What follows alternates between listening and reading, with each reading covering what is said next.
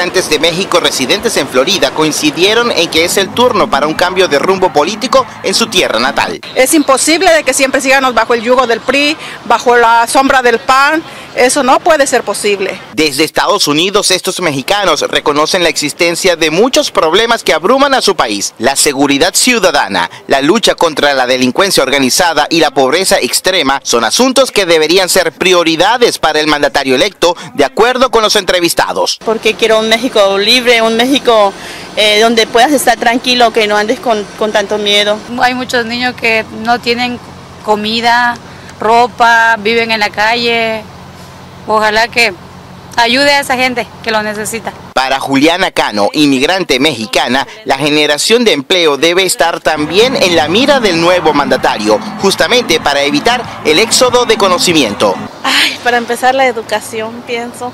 Y, sobre todo pues los, los trabajos, que porque no hay estamos aquí, porque si estuviéramos trabajo allá estuviéramos. Pero las posibilidades que allá no tuvimos, las tuvimos aquí. Desde el exterior la perspectiva es diferente y esto impulsó a algunos mexicanos a denunciar propaganda sucia en la campaña. Entonces querían confundir a la gente de que él iba a hacer esto y esto y esto a contra de, del país, pero